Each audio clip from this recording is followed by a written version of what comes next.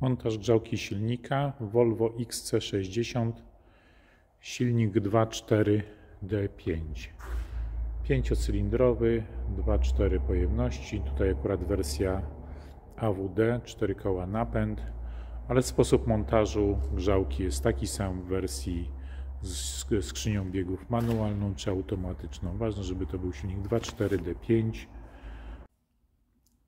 Elementy niezbędne do montażu to grzałka silnika montowana w przewody wodne, zestaw do montażu i kable.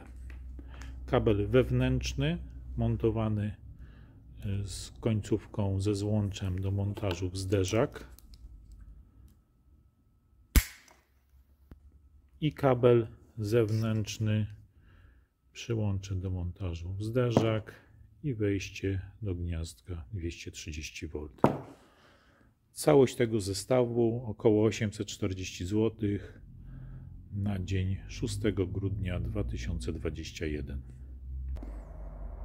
Widok od dołu samochodu, widzimy miskę olejową i wymiennik ciepła. Przy wymienniku ciepła są dwa przewody.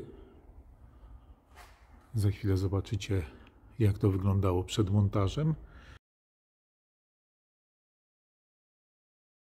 Tej chwili jest zamontowana grzałka, konieczny element do montażu. Ważne, żeby to zamontować dosyć sztywno, ponieważ tutaj jest półoś. Więc jest blisko.